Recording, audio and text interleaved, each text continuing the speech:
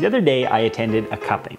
On my way to the event, I had to do a quick search because I had no idea what a cupping was. So for those of you like me who are unfamiliar with this term, allow me to explain. A cupping is a professional method of observing the tastes and aromas of coffee. You pour grounds into a cup of boiling water, hang out and let it sit for a minute. Then you scrape off the top layer of the grounds and you give it a good sniff. Then you take your spoon and loudly slurp the coffee since coffee beans embody telltale flavors from each region they are grown, cuppers will often attempt to figure out where the beans came from. Kind of like your auntie will do with her $15 bottle of wine at Christmas. But now that you know what cupping is, let's head down and have a word with Alicia Esmail, who's roasting ethically sourced coffee beans right here in Saskatchewan with her company, Road Coffee Co. I've been obsessed with the coffee industry since I was a kid for some reason and I knew I wanted to work in coffee even though my background was in development work. And I love to travel. And when I was overseas I would often hang out on coffee and tea plantations getting to know farmers and their kids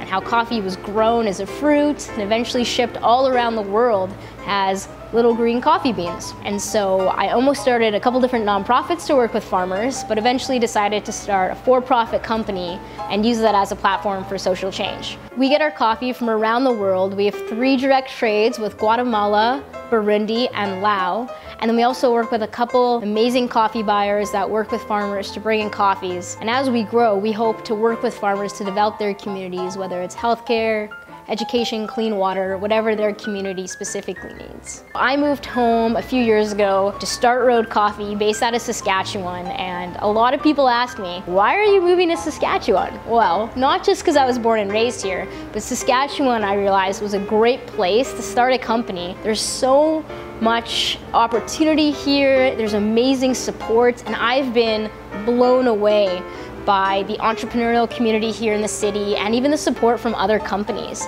It's been absolutely amazing. I'm excited to continue to grow the Saskatchewan-based company. We're primarily a roasting company. We supply restaurants, we supply cafes and offices with coffee, and it's amazing.